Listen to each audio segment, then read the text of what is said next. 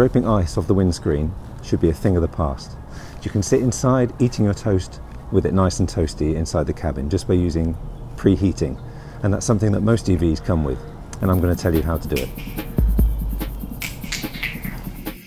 So I'm going to set up the climate control timer. I'm going to do this in the Hyundai Ioniq 5, but the concept is pretty much the same for any other EV that supports it. So first of all, I'm going to go to the EV page.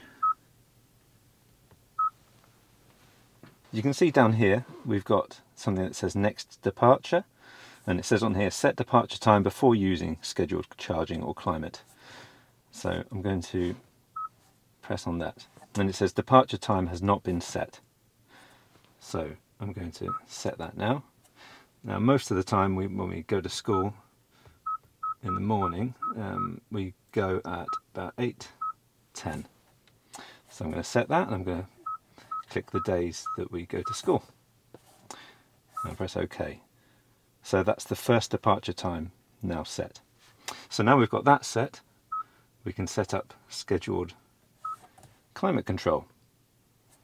So it says target temperature has not been set.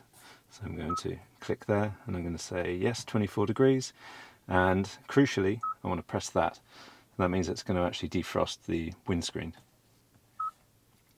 It's as easy as that. And now all we have to do is plug in the car.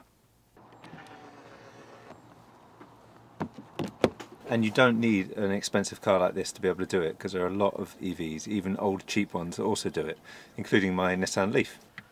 All you have to do is go to Climate Control Timer, Edit Schedule, and then you can turn on and then set your departure time and the days and then press save. The nice thing about the Leaf is that it also shows you if the timer is set with this little light here. And some other EVs do this as well.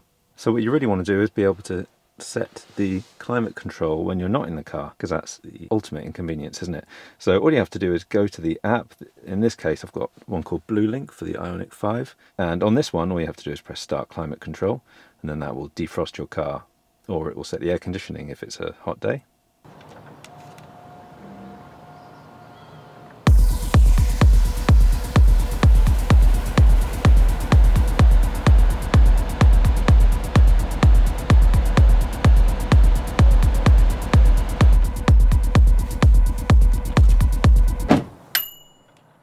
Uh, what I'm going to do is go to remote to show you how to set a timer. So you can go to scheduled charging and climate control, this one here.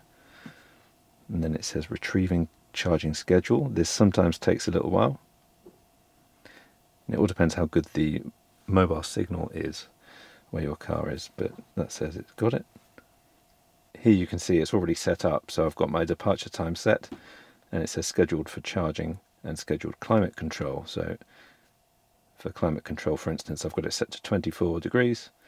Defrost on, which means the windscreen is defrosted 30 minutes before departure time, and defrost off. So that means it's not activated at all. So I'm just going to go back and I'm going to click on defrost and heating here. And you'll see that defrost and heating, the settings are that we've got defrost on, and it'll also sort out your side mirrors and the rear window heating, and it will also heat your steering wheel as well, which is a nice touch. I hope you enjoyed this video. Please press subscribe and the bell icon to be notified of other videos.